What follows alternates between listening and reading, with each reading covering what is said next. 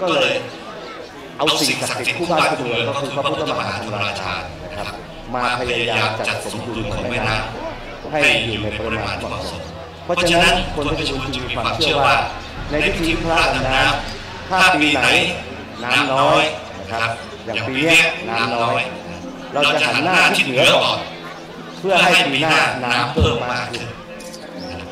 ถ้าปีไหนน้ำมากนะครับรวมท่วมล้นเต็มมาเลยนะบริเวณที่ท่านนั่งทั้งหมดเนี่ยแทบจะเรียกว่าดูไม่ได้เพราะน้ำท่วมถือว่าน้ำมากครับท่วมมาเราก็จะหันหน้าทิศใต้ก่อนนะครับเพื่อให้ปีต่อไปเนี่ยน้ำจะได้ลดลงมา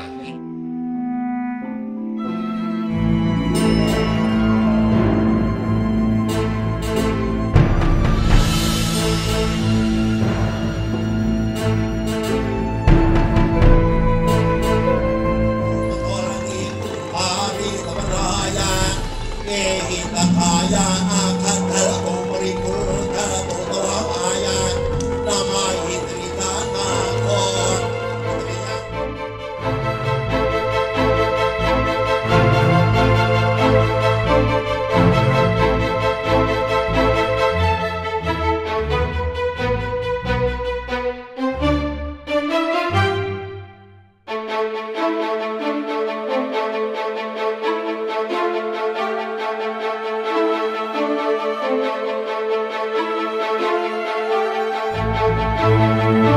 นำ